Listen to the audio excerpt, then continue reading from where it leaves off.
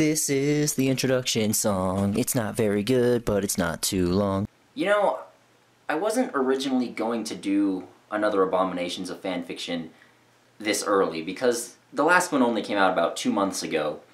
And I, I, I like to.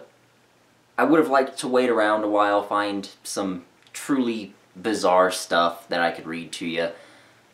But, I mean, I found this, and it's, you know, it's Christmas themed, and I just, I might have to retire the show after this because I just, I don't know if I'll ever top this. Okay, I might just stop reading fanfic after this because what what's going to be better than this?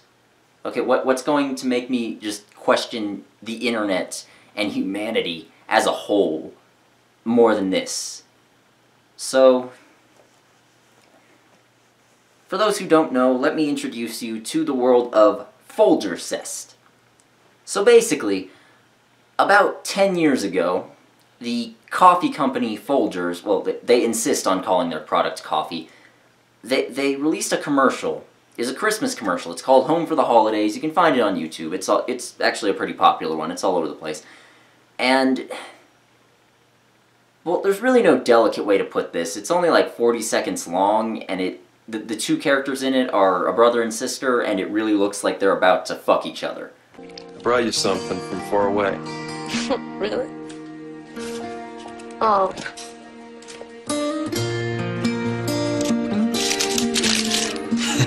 What are you doing?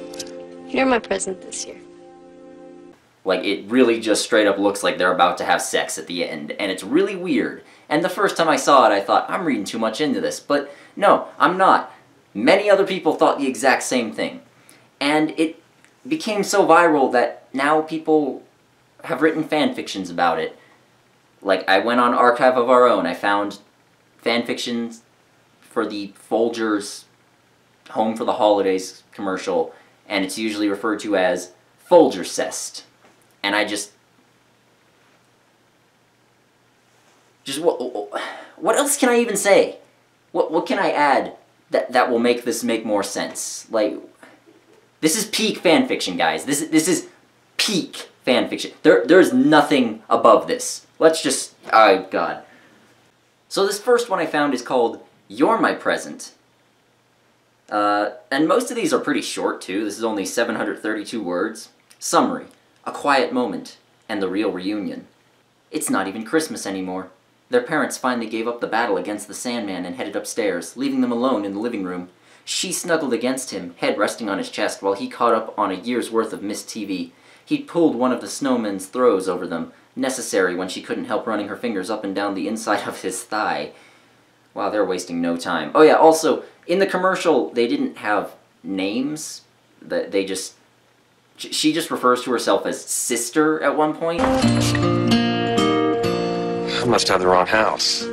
Sister? And not, not even in like the Pornhub sense where it's like stepsister. What are you doing, step bro? Like, no, it's just she calls herself a sister, and so a lot of these don't actually give them names, and a lot of the others give them.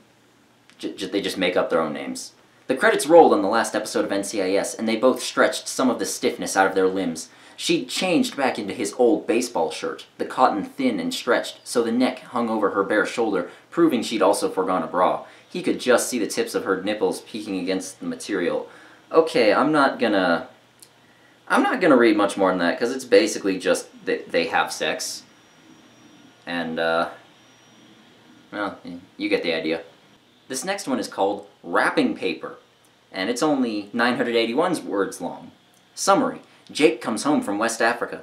Megan waits to unwrap her present after dinner. And, uh, you know what, actually, I'm, I'm not reading that one, because that one is basically the exact same thing, because it's just, it's, they just have sex, only this time they have names. And then there's one that's a little bit longer, it's only 1800 words long. It's called The Best Part of Waking Up.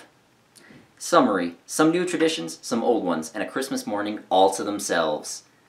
Yeah, spoiler alert, they, uh, they have sex in this one too, only in this one the brother is making muffins while it happens. And I'm only bringing this up because this line is in there.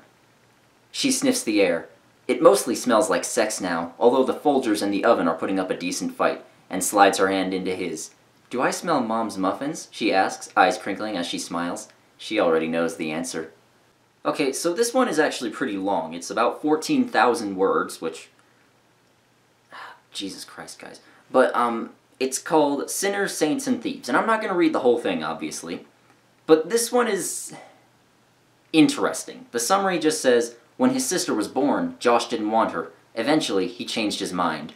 And this one's a little different because it basically just goes through their entire childhood and their entire lives up until they're like in their 20s and apparently the brother Josh is like dealing with these weird feelings he has for his sister and he feels weird about it. The, the one thing I'll say is that they don't actually have sex in this one, but it implies that they do at the end. But then in, in the notes it says this story includes strong language, a passing reference to 9 11, several references to an intolerant type of evangelical Christianity, and non explicit incest between consenting adults. This story is also very long. I'm not sure how that happened. And I, re- I really mean it. Like, it goes through their whole childhood. It goes through, like, a car crash, and people getting sick, and relatives dying, and again 9 11, and just them having difficulty. How do you get that from a 40 second commercial? How do you. How do you look at this vaguely incestuous commercial, which apparently no one on the commercial intended for it to be that way, but uh, whatever. I'm not sure I believe that. Whatever. Just how do you get all that from that? I don't understand. Whatever. So, the number one story on Archive of Our Own, under the Folgerscest tag, like the one with the most hits, is called A Home for All Seasons. Hi, Big Brother. So, you're usually home by this time, but I'll assume that you're out enjoying the wild Cameroon nightlife. And by that I mean the nightly Cameroon wildlife. Get it? Because you're in Africa. That summary is terrible. So, in this one, they're named Libby and Matt, and uh, fun fact, the actor that plays Matt is actually named Matthew Allen, and he plays an abusive stepfather on 13 Reasons Why. So, I don't know, I guess that just makes it a little bit funnier. So, this one is, um, it, it's, okay, it's pretty much the same as the last one. It doesn't go through their entire childhood, but, you know, this time they're named Libby and Matt, but it, it just goes through their young adulthood and how he went to Africa kind of to escape the feelings he had for his sister, you know, that sort of thing. And, um, God, I have a headache right now. Uh, but, anyways, uh, they go through all that and they continuously talk on the phone and stuff and realize, hey, we're, we're actually in love. And they don't have sex in this one either. They do have phone sex, though, so, you know, if that bothers you, don't read it.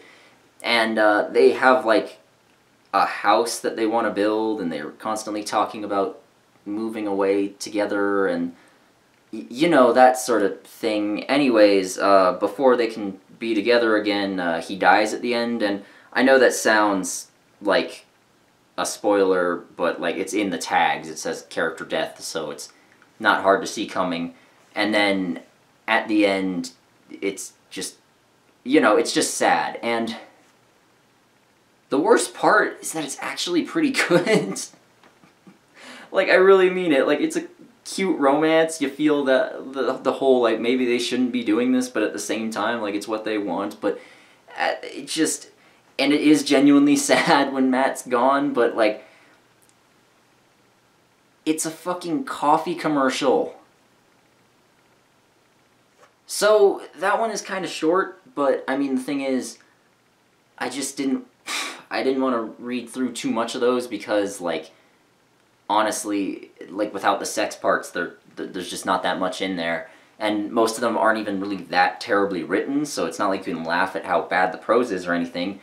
And I just um.